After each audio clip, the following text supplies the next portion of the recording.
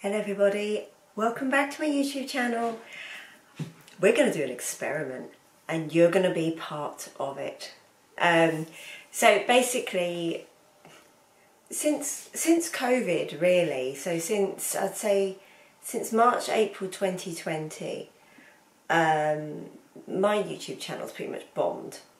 Um, I'm not quite sure why in terms of, you know, it's a hobby for me, so I'm not all up with the analytics and everything. I just know that it, it, it, there was a decrease in views, in revenue, in the rate at which I gain new subscribers. Um, and I think that growth at the moment is at an all time low for me. Now, it could be just that, you know what, I've plateaued. I've reached the position that I'm going to get to. Um, and as I say, this is a hobby for me, so, and that's fine. I, you know, when I first did this, obviously I was making no money at all. I've shared quite openly about, I say how much, but how little I make from YouTube on a monthly basis. Um, I don't even make everything on on a monthly basis. It's that poor. Um, but it, it that's still declared. But that is absolutely fine. I do it for the pleasure and throughout COVID, this platform really gave me a sense of community and, and some people to talk to. So I'm alright with that.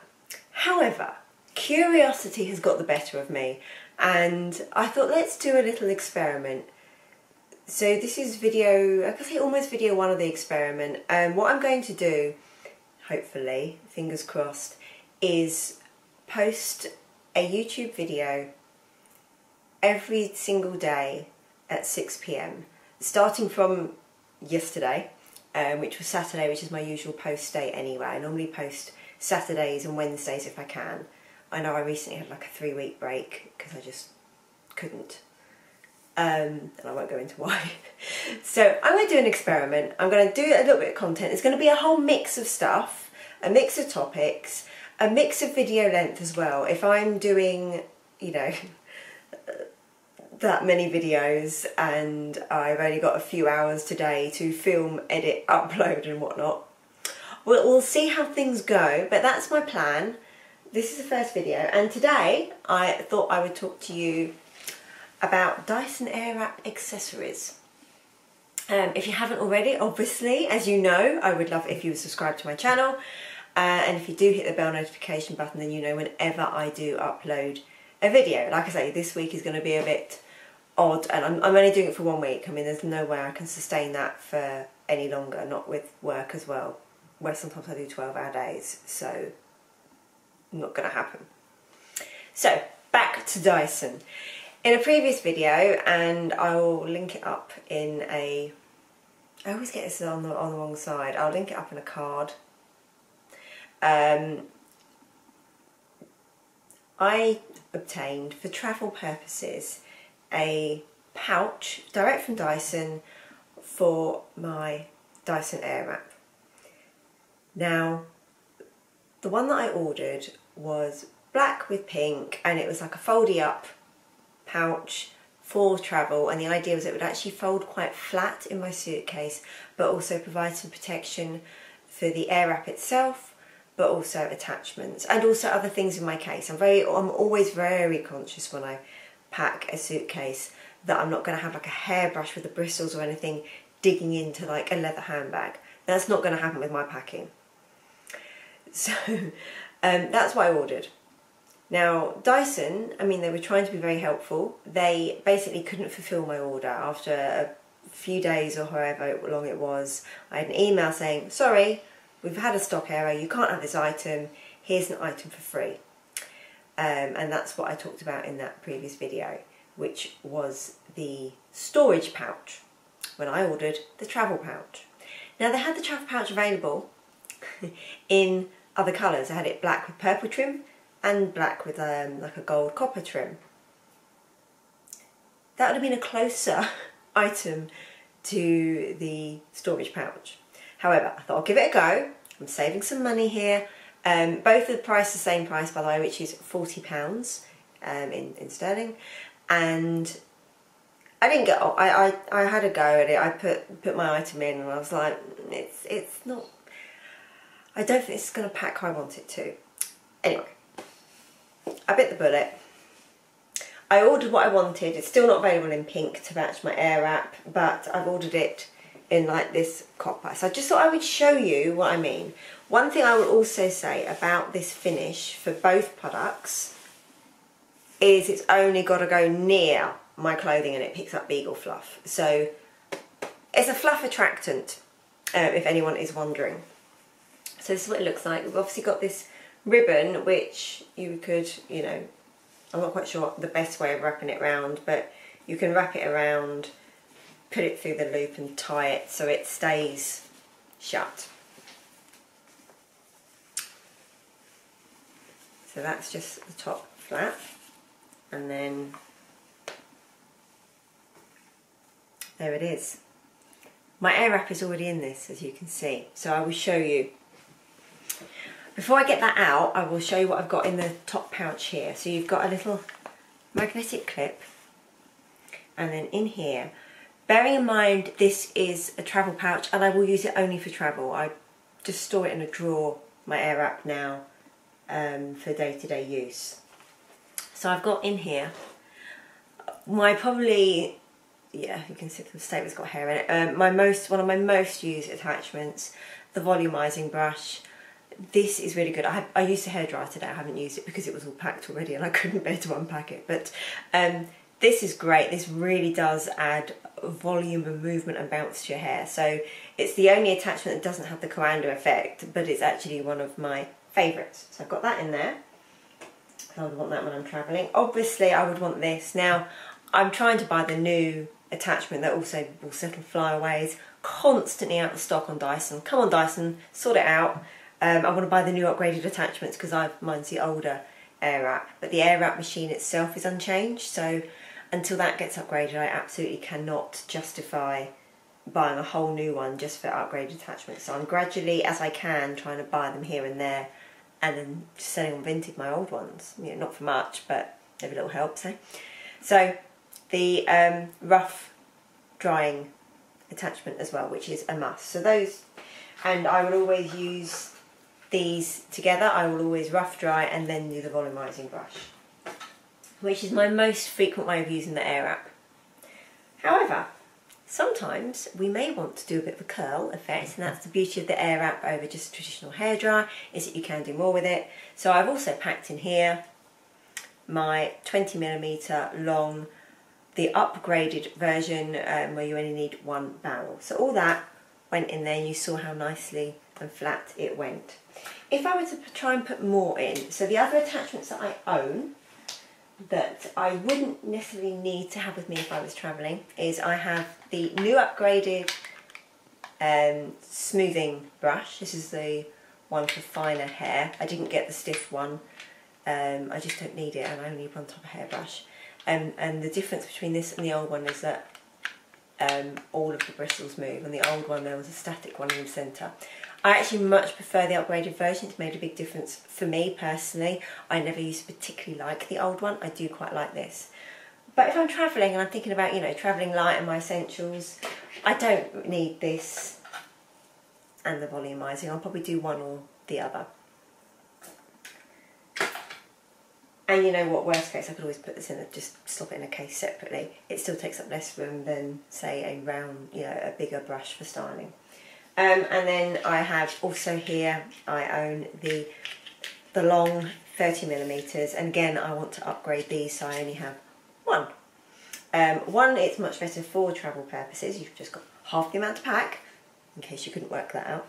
Um, but also because of how, in terms of changing direction, so, not that right, yeah, so you need one, I've got that the wrong way around, one barrel to do one side, or one barrel to do the other side with the original attachments.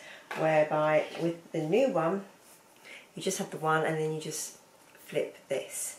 So a lot less changing about taking off putting on so it's more convenient. Um, but also it means if you want to do you know a lot of people when they do their hair you know much better than I do they'll do you know one one direction one another one direction one the other um, not just all one direction and then all one direction. So for those people, absolutely this is much, much better. if I were to put all of this in, then it starts to get too big and too bulky. So I'll put that barrel in at the bottom. And then if we put in, say for example, the, the hairbrush, the round brush, and the hairdryer attachment, you can see that's sticking up quite high. You know, we've not even tried the 30 ml barrels. And then when you try and wrap it, you can see it's just not going to wrap nicely. You could do it, but it's not as nice. And if I wanted all of the barrels, then it's just going to be an absolute straight no-go. I mean, you could, for example, if you only used barrels, you could put all of those in with the um, rough drying attachment. As you can see, that goes nicely. But if you want to do these as well, then it's just, it's just not going to work. But like I say, if, if I'm travelling, then the, the attachments that I rarely use but occasionally use, I really don't need. So it doesn't, it doesn't, genuinely doesn't bother me. I can fit in this exactly what I want um, and without issue. I'll show you, it's got a little diagram there of the attachments, which, which is quite cute. Um, it's actually got the upgraded, pic the picture on there is actually the upgraded rough dryer, the one that I'm trying to buy. Um, so that's nice. And then you've got on here, you can see instructions telling you what goes in this pouch, which is the Airwrap itself.